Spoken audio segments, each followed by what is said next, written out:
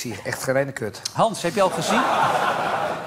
Is dit nou voor een rare vraag? Hans, heb je al gezien dat een Amerikaanse predikant jouw handelsmerk gestolen heeft? Nee. Heb je het niet gezien? nee. Heb jij het? Ik denk het. Erik Dijkstra uit Heerenveen heeft het gezien. Dus ik neem aan dat, dat iemand weet waar het nu over gaat. Oh, kijk, daar gaat hij.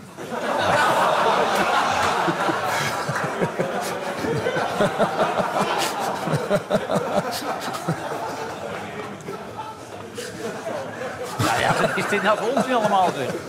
Wat is dit? Ja, dat is een Amerikaanse predikant die Hans een keer gezien heeft met dat filmpje. En die is gelijk er eh, gaan imiteren. Nou, ik denk best dat hier massaal naar gekeken wordt. Ja. Hans, eh, hebben mensen wel eens over dat jasje bij jou of begint er niemand over? Ja, je wordt helemaal doodziek van dat jasje elke keer. Oké. Mens- mensen die denken dus echt dat ik ook als ik in mijn slaap met jasje gooi. Hè? Dat, Ja. dat, dat denken ze. We hadden het er ook bedacht voor het komende EK als, als actie. Maar ja, dat gaat nu niet door. Ik heb een vraag voor Johan. Oh.